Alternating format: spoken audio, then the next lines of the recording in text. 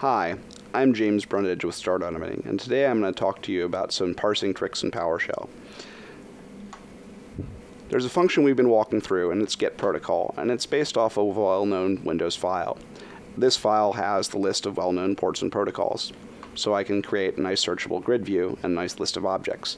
And this video actually covers a lot of the meat, how I parse that list and turn it into objects. The file was nice enough to give a format at the top, but I can notice that the white space is the most important thing. Now, I believe strongly uh, in trying to avoid regex parsing when you don't need it. And I believe this for a couple reasons. One is that uh, not everyone is bound to understand regex, uh, and two is uh, the old joke and adage if you try to solve a problem with regex, you have two problems. So I am using a couple of PowerShell techniques here that can actually get to about the same level of performance as regex by going through this in one pass. And those techniques are multiple assignment and the way it handles list operators. So multiple assignment is the first one. With multiple assignment, you can actually take a list of items and assign any number of them in, in them into any number of variables and the remainder into a variable. And we are faced with this problem here. We have two items that we know are going to exist and two items that might or might not exist. The thing separating them is a space, and by using the string split and using string split options remove empty entries, all I'm left with is non-white space. The first of them is reliably service name, the next is port and protocol, and the next is aliases and comments. And while I'm using this trick to parse a data file, there's no reason you can't use similar trickery to parse the output from an exe.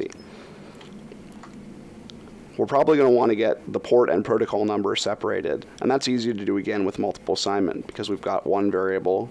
We can go ahead and use the split operator and get a port number and protocol name. And then down here, what we do is we take the aliases and comments, which is the remainder, and we use the list tricks that we talked about in the last video to make this work. In PowerShell, if you have a list of items and you use an operator, the operator will give you back all the items that match the list. Unfortunately, because there are lines like the first line where aliases and comments would be completely null, it would be evaluating that on one item, which would give me back true or false. So what I do here is I force them into a list with the at parentheses operator. And then I use dash not like and dash like to only find the ones that are comments. As we noticed, comments are delineated with a hash mark over here. Then I build the property bag out of them. And the property bag is a simple little thing to do. All I do is I use new object, PS object, and a hash table. Hash tables in PowerShell are at bracket name equals value, name equals value, name equals value, and you'll see them all over the place. And in this case, by using them with new object ps object dash property, I can create a little quick object. I might want to actually have that object have nice formatting, so I'm going to add one more thing for the PowerShell engine, and that's this, where I'm going to give it a type name.